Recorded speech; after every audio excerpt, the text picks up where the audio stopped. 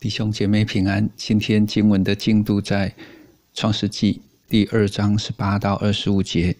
昨天我们提到耶和华神在东方的伊甸立的一个原则后，就把所造的人安置在那里，并且颁布了一个禁令。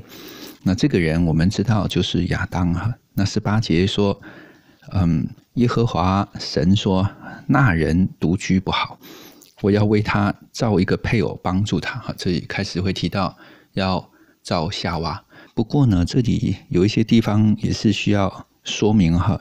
那人独居不好，这个不好是上帝第一次说不好。那这个不好不是说独身不好啊，他是说独居不好。呃，意思是说亚当如果他独居的话，没有夏娃，他不可能完成。呃，生养众多的命令，对不对哈？那另外呢，人呢是一个社会性的动物，是群居的。如果全部的动物啊，就亚当之后呢，会看着动物一群一群啊，用不同的样式，会有公有母啊。那他只有一个男人，所以就显得孤单了。所以在这里独居不好，特别指的是第一个。不可能完成上帝这个生养众多的命令哈。第二个，他是孤单一个人啊，但是人是群居的，是社会性的动物，嗯，不是在讲独身哦。因为保罗也提到，因为他独身，所以他可以更多的专心侍奉啊。我要为他造一个配偶，这个配偶原文的意思是，嗯，在他的面前。嗯，常常被指到就是说相对等的意思哈，所以翻译做配偶有一点感觉好像是呃次等的，倒不是这意思，而是说为他造一个跟亚当呢相等的帮助者。那这个帮助者呢，也不是指这个夏娃比较次等，嗯，好像亚当是呃负责主。那那这个夏娃就是在旁边哈，当一个小跟班，帮着他，倒不是这样意思。这里帮助者呢，指到的是帮助亚当可以完成上帝托付啊，特别前面讲到这个生养众多的命令嘛，还有呢，让亚当不是那么样的孤单。十九节，耶和华神用土所造的野地各样走兽所以我们包含人各样的走兽。和空中各样的飞鸟，其实我们也都是尘土嘛。我们呃，这个基本上的本质差不了太多了。看它叫什么，嗯，也就是说，上帝哈把所造的各样的走兽、飞鸟带到亚当的面前哦。我觉得这一个画面好美，好温馨啊。我们前面说，上帝所创造的这些。动物啦，这些飞鸟啦、走兽啦，都是充满了上帝的智慧。很多动物非常的特别。那上帝把动物带到亚当面前，哈，你会感觉上帝一定在那里说：“哎呀，这个动物，哈，比如说这个河马呀，哈，多么有强壮有力啦，哈，这个鸟啊，嘿，它的骨头是中空的，所以能够飞呀。你看看它的羽毛。”每一只不一样哈，等等等等。然后呢，问亚当说：“你要叫他什么呢？”上帝很喜悦跟人啊分享，跟人同工。他很喜悦把这个呃他所造的一切的美好显在人的面前。人也是被造的，但是人在这个时候却有一个独特的跟上帝独特的关系。可以跟上帝沟通交流，有一个亲密的互动的关系。这些动物不是，是上帝把他们带来到亚当的面前，让亚当来叫他们名字，叫各样的名字哈，起名这件动作代表是一个权柄的嘛。嗯，谁可以为我的孩子取名呢？当然是我自己，对不对哈？我们自己可以为孩子起名，所以帮人取名字表示呢。嗯，拥有权柄啊，所以这个就是上帝给亚当也很大的尊荣，给他这个权柄，让他可以为这些走兽、飞鸟取名字。那人怎样叫各样的活物，那就是他的名字。上帝很大方哎，这个是他造的。有时候人的智慧当然比不上上帝啊。人有时候会取了一些嗯不一定太合适的名字，但是上帝他都欣然接受，他就是喜悦。就好像哈，前一段时间我们养了两只天竺鼠，嗯，我们就给孩子取名啊，结果孩子给他起名叫做乖乖跟松饼，呃，怎么都是吃的哈。不过无论如何，我们觉得这个名字很可爱、很滑稽哈，但是我们就觉得这是孩子啊起的名字，我们就是想要讨孩子的欢喜哈。让孩子也表达说：“这个是我取的名字，那这只是你取的，所以你要好好照顾它。”所以那人怎样叫各样的活物，那就是他的名字。那人便给一切牲畜和空中飞鸟、野地走兽都起了名。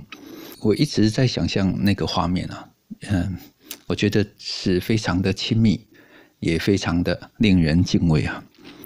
在这里呢，加上了只是那人没有遇见配偶帮助他，在遇见配偶，在寻找配偶的这个过程，就是上帝把不同的动物带到亚当的面前，亚当看啊看，都是跟他不一样的哈。这里要对照出来，人被造跟动物是完全不同的。嗯，没有遇见配偶来帮助他。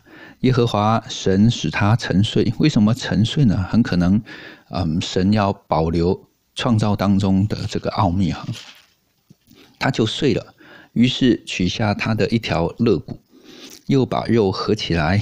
耶和华神就用那人身上所取的肋骨，造成一个女人，领他到那人跟前哈。上帝有很特别的创造哦，他是在亚当的身上。取下肋骨，又把肉合起来。那这个女人被造起来呢，就跟亚当很相近哈。为什么是肋骨？跟后面所说的呃有关呢？那人说就是亚当说，这是我骨中的骨，肉中的肉，可以称她为女人，因为她是从男人身上取出来的。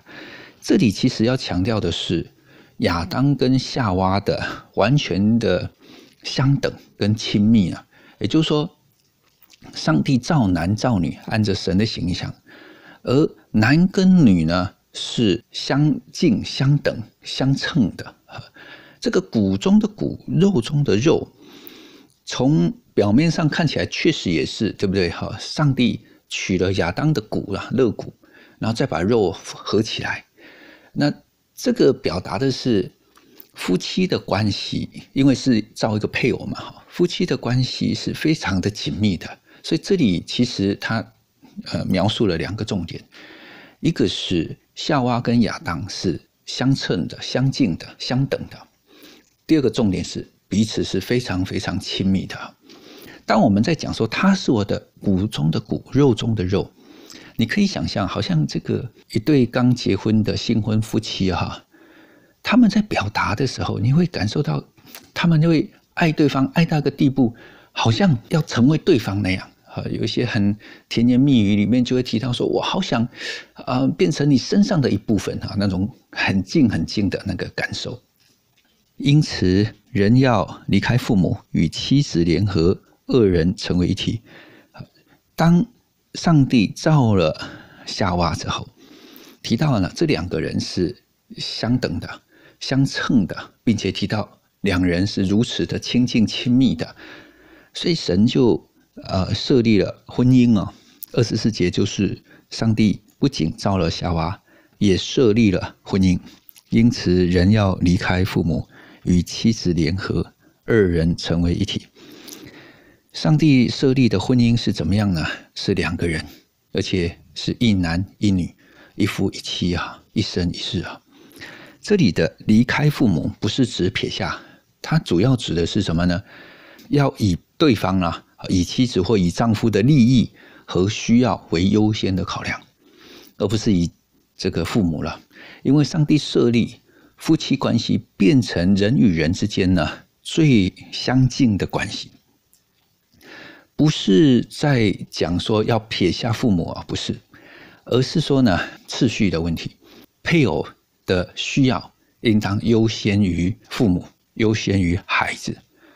第二个呢，这里的离开父母哈，指的是说真正成为一个大人呢，生活当中不再依靠父母，呃，例如不应该是妈宝或者是啃老族啊，他能够独立自主，他能够真正的长大成人啊，所以这里的离开不见得是空间上你绝对要离开，而是指的是以对方为优先，而且呢，真正成为大人。二十五节，当时夫妻二人赤身肉体，并不羞耻。这里要描述的是两个人关系是很亲近的，而且呢天真无邪的。因为这个时候没有罪的介入，后面我们就会看到，当罪临到的时候，两人就呃开始关系就会有一些隔离也好。就表达的是在这个时候哈，天真无邪，像孩子一样，我们。养小孩，如果你养小小孩，你就知道啊。我以前带着小朋友去海边玩，他们那时候很小，他们就穿着小裤裤啊，然后在那边玩。他们其实不在意，那因为很小啊，我们怕他们着凉，有时候一抱起来，赶紧呢就就在那边给他换衣服哈。他们也不会觉得特别什么哈，代表他们天真无邪。但另外一方面呢，两人赤身肉体并不羞耻啊。我说也表达两人很近的关系。其实我们如果进入婚姻，你会知道，假使哈，你这个跟太太或跟丈夫吵架了，那当天呢，你就觉得在对方面前赤身露体有些为难，哈，有一点嗯不舒服，我就不想要给你看到我的身体哈。所以他要强调的是两个人天真无邪，也强调的是两个人关系非常的紧密了哈。上帝设立呃婚姻的关系。他也表达，在这个时候啊，婚姻关系是非常的亲近，嗯，是非常的天真纯洁的哈。我们回过头来看这一段哈，这一段其实很具体，就是从耶和华神说那人独居不好，上帝看到亚当一个人不好，他没有办法成就神在他身上的工作跟命定，啊，对他的托付，生养众多的这个托付哈。也看到亚当一个人会感受到孤单啊，所以神呢就造一个配偶。所以这一段主要在讲上帝创造了一个配偶，造了夏娃。夏娃跟亚当在一起，神就设立了婚姻的制度。那这个婚姻的制度，起先这两人呢是他们两个是相对等的，在天真无邪、非常亲密的关系当中，彼此相爱，在神的爱和恩典当中，一起在伊甸园。管理啊，看守修理伊甸园哈，在这里边呢哈，我们也可以看到的是神设立婚姻的心意。我们前面强调了是两个人，一男一女，一夫一妻，一生一世哈。不过我们比较常犯的错是什么？就是说，在夫妻关系当中，神设立夫妻关系是最亲密的关系，是二人成为一体。你跟配偶。两个人结婚之后呢，是一个整体，一个新的，就是说没有分你我，也就是夫妻关系会变成是所有的人际关系最亲密的一段关系，这是神设立婚姻的一个奥秘哈。那在应用上，就是说，嗯，很多时候我观察到一些家庭生了孩子，那太太呢忙着照顾孩子嘛，要喂奶啦，生活起居啊这样。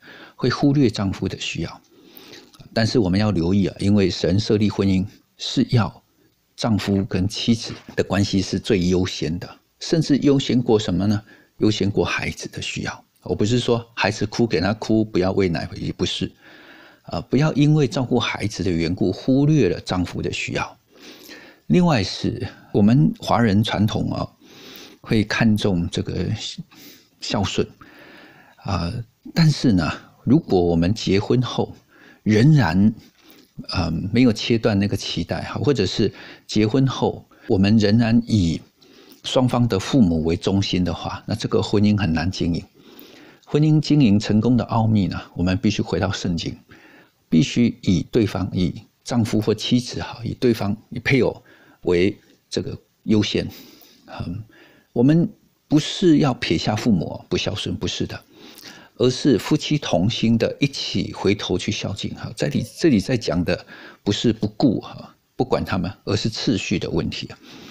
求主帮助我们好，否则我们会出现很多婆媳的问题，或者是呃跟长辈有一些互动相处上会造成婚姻当中很多的张力。求主怜悯。那另外这里提到一体哈，一体不单单指身体上的呃结合啊，性生活上面哈，它更是指到的是情感、灵性啊、目标等等，嗯，生命当中的每一部分会越来越呃一致，不是说两个人变得完全一模一样，而是两个人很有默契，带着两个人的丰富。呃，那些不同的这个丰富呢，来呃成为彼此的祝福，然后两个人有同样的呃目标方向，同样的脚中，所以纵使结婚之后啊，夫妻仍然要不断的去经营这个关系，去建立成全，让这个一体啊变得更具体，变得更同心呐哈，嗯，所以我们。纵使结婚后啊，还是建议要固定的约会。嗯，我跟师母呢，每一周我们固定有两天哈，呃，两个时段要约会啊，礼拜一跟礼拜四中午要一起吃饭呢。嗯，这给我们夫妻关系有很大的保护哈，也不断的在经营那个一体。另外就是啊，也要更多的同心祷告啊，一起来寻求神。让神的祝福在我们的婚姻，在我们的家庭里边哈。最后，我们一起来祷告，亲爱的主，谢谢你设立婚姻，求你帮助我们，呃，在婚姻关系当中好好的呃经营与配偶的关系，让我们与配偶的关系真正能够更多的经历那个一体的实际，在身体上，在心灵上，在情感上，在灵性上。在人生的方向目标，我们越来越有默契，我们越走越踏实，呃，脚步越整齐。谢谢主，你教导我们，呃，特别也让我们把配偶的需要摆放在生命的优先，优先过父母，优先过我们的子女，因为这是你设立最亲密的关系。求主给我们智慧，真的不容易，在每一个判断的事上，我们需要你与我们呃同在，教导我们。听我们祷告，奉耶稣基督的名，阿门。